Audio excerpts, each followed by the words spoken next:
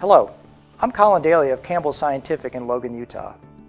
In this video, we'll show you how to watch communications between an SDI-12 sensor and data logger using the terminal mode W or watch command. This is also sometimes called the sniffer mode.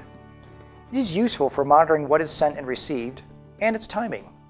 You might want to use this mode when setting up an unknown SDI-12 sensor or for troubleshooting. You'll need your data logger powered and programmed with the SDI-12 recorder instruction, the sensor connected to the data logger, and your computer connected to the data logger. We'll get into the terminal emulator like we did in the transparent mode video. Connect, collect, data logger, terminal emulator. In the terminal emulator, click the Open Terminal button. Press the Enter key a few times until you get to the data logger prompt. Type W and enter. You'll get a list of available communications ports.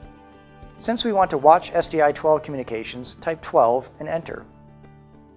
Enter the time in seconds that you want to watch the SDI-12 traffic. In this example, the sensor is being queried by the data logger every 10 seconds. Entering 60 seconds will give us enough time to see several transactions. Any keystroke renews the timeout. So if you want to watch longer, just press the spacebar. The escape key exits the mode. Next, a prompt asks if the data is in ASCII. Enter Y for yes when using SDI-12 sensors. Answering N or No will display the data in hexadecimal format. Every 10 seconds, you can see the data logger issue or transmit the measure or M command. The sensor responds with its address, time until the data will be ready, and the number of values. At the appropriate time, the data logger follows with a D command, and the sensor sends the data. Along the left side, you'll see T's for transmit and R's for receive. You can use the escape to exit or wait until the timeout elapses. Then you're back to the connect screen. We'll disconnect. That's all there is to it. Use the terminal mode W command to watch the communications traffic between your SDI-12 sensor and CRBasic Data Logger.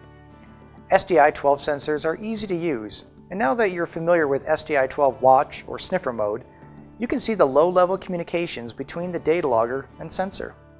Also, look for our other video on using the SDI-12 terminal or talk-through mode. It allows you to issue commands, not just watch them. You'll use that mode for making changes to the sensor settings, such as its address.